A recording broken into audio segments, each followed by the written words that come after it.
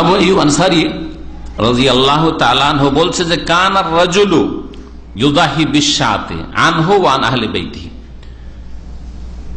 সাহাবিরা একজন একটা ছাগল বকরি জবাই করত নিজের পক্ষ থেকে আর নিজ পরিবারের পক্ষ থেকে। নিজের পক্ষ থেকে আর নিজ পরিবারের পক্ষ থেকে। তাহলে বোঝা গেল যে একটা বকরি শুধু বা একটা খাসি, একটা দুম্বা, একটা ভেড়া ভেড়ি একজনের জন্য নয়।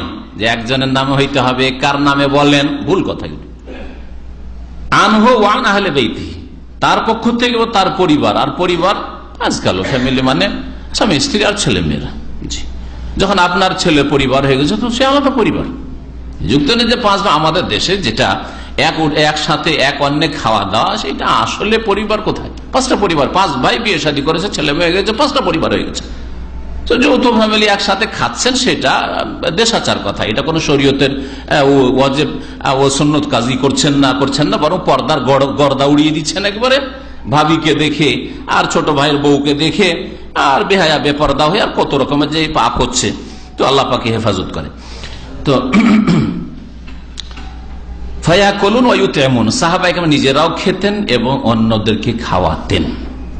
হাদিসটি তিরমিজিতে রয়েছে এবং তিরমিজি হাদিসটি বলছেন, হাসানুন সাহিহুন, সহি হাদিস। জাবের বিন আবদুল্লাহ রাজি আল্লাহ তালা থেকে বর্ণিত, তিনি বলছেন সাহিত্য রাসুল আল্লাহ আল আজহা নবী সাল্লামের সাথে আমি কুরবানিতে উপস্থিত হইলাম, বিল মোসাল্লাহ ঈদগাহে।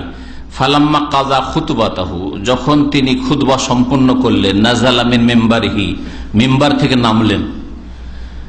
ওয়া আর তারপরে একটি দুম্বা নিয়ে আসা হইল। তো মেম্বার থেকে নামার পরে দুম্বা নিয়ে আসা হলো এর দ্বারা বোঝা গেল যে ঈদের দিনে ঈদের নামাজ আগে হবে না খুদবা আগে হবে? নামাজ আগে হবে। তারপরে খুদবা জুমার উল্টা, সোজা বুঝে না জুমার উল্টা। জুমাতে খুদবা আগে হয়, তারপরে জুমার নামাজ হয়, আর ঈদে আগে নামাজ হয়ে যাবে, আর তারপরে তখন খুদবা হবে। মেম্বার থেকে নামলেন খুদবা দেওয়ার পরে, বক্তব্যের পরে নিয়ে আসা হলো দুম্বা ফাজাবাহ রসুল্লাহ সাল্লাহি নিজ হাতে রসুল্লাহ জবাই করলেন। এর দ্বারা বোঝা গেল যতই বড় ব্যক্তিত্ব হন না কেন হ্যাঁ? কোরবানির পশু জবাই করা বা বাড়ির কোনো পশু জবাই করা কোনো মানহানির বিষয় নাই। এত বড় আলেম, আল্লামা হয়ে গেছি। এত বড় ব্যক্তিত্ব হয়ে গেছি, আর কোরবানির পশু জবাই করব। যা কেউ জবাই করায়।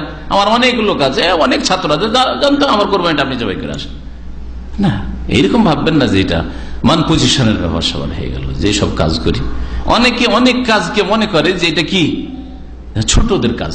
এটা আমার আমার ব্যক্তিত্ব অনেক উপরে চলে গেছে, আর এটা আমার কাজ নয়।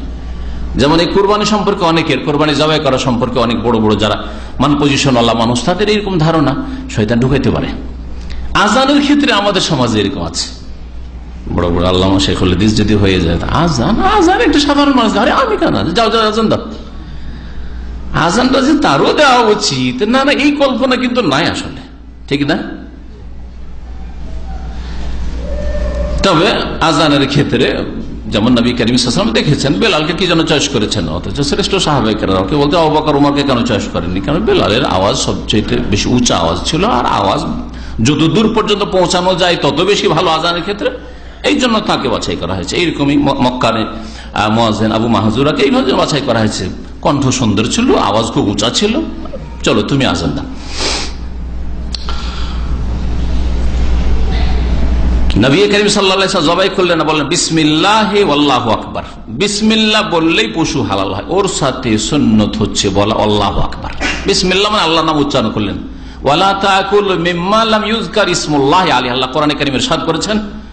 তোমরা খেও না এমন পশু যার উপর আল্লাহর নাম উচ্চারণ করা হয়নি। ইসমুল্লাহ মানে বিসমিল্লা বলা হয়নি। তাহলে বিসমিল্লা বলা ফরজ, হালাল করার জন্য। আর তার সাথে নবী করিম হাদিস দ্বারা প্রমাণিত, তকবীর পাঠ করা। বিসমিল্লাহ আল্লাহ আকবর।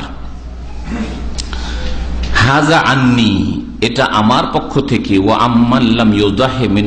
আর আমার উম্মতের যারা করেনি বা করতে পারেনি, তাদের পক্ষ থেকে। আল্লাহ আলবানী রহমতুল্লাহ বলছেন হাদিসটা সহি। আবু রয়েছে হাদিস। তাহলে এর দ্বারা কি বোঝা গেল? হ্যাঁ? কি বুঝলেন? যে একটা কুরবানি কোন রসুল্লাহ সাল্লাম সেটা ছিল দোম্বা। আর শুধু তার পক্ষ থেকে হলো না, যেসব আমার উম্মতের অভাবী লোকেরা কোরবানি করতে পারেনি বা পারবে না, তাদের পক্ষ থেকে আল্লাহ করে দিলাম, তাদের পক্ষ থেকেও।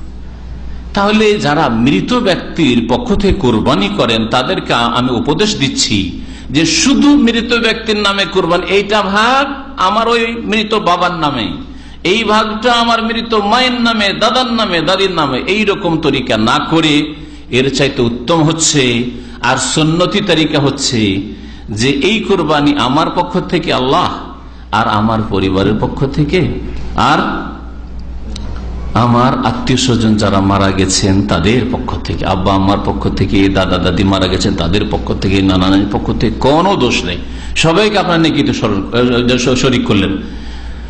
এতে হবে কি? আপনি নিজেও খান আর গরিব স্কিনকে খাওয়ান, আত্মীয় স্বজন বন্ধু বান্ধবকেও খাওয়ান। কোনো অসুবিধা নেই। মৃতেও শরিক আছে আর জীবিত একটা কোরবানিতে শরিক আছে। পক্ষান্তরে যেসব ভাইরা আর দেশি তরিকার কোরবানি হচ্ছে এরকম। সেটা হচ্ছে মৃতের নামে আলাদা কোরবানি। মৃতের নামে কোরবানি করেন আর গোস্ত খান নিচে। এটা একেবারে যুক্তিসঙ্গত না আর দলিল সঙ্গত না। শুধু শুধু মৃতের নামে একটা গোটা কোরবানি মৃত ব্যক্তির নামে নবী করিম কখনো করেননি। হ্যাঁ তবে মানে তার পক্ষ থেকে আর অন্যদের পক্ষ থেকে। এইভাবে করেছেন।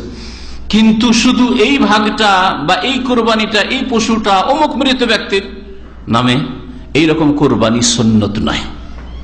জায়জ কিনা সন্ন্যত নয়? তাহলে জায়জ কিনা একদল বলছেন যে হ্যাঁ সেটাও সাদকা। জায়জ, অসুবিধা নেই। আর একদল বলছেন, যখন নেই প্রমাণিত এইরকম, তখন জায়জ নয় এটা। আমাদের ফতুয়া নকল করলাম। আমরা বলি যদি জায়জ হয়, তাহলে সেটা সাদকা।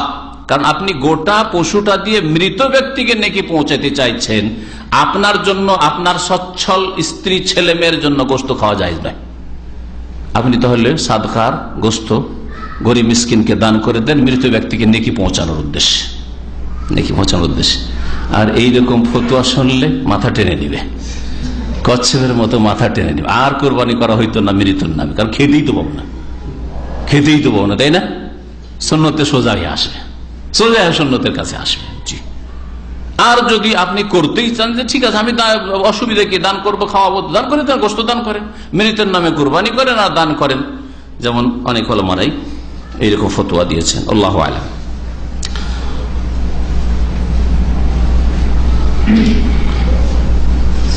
সহি মুসলিমের আরেকটা হাদিস রয়েছে, নবী করিম সাল্লাহ আলী সাল্লাম এক কোরবানি করলেন। জবাই করলেন আর বললেন, বিসমিল্লাহ, আল্লাহর নামে শুরু করছি।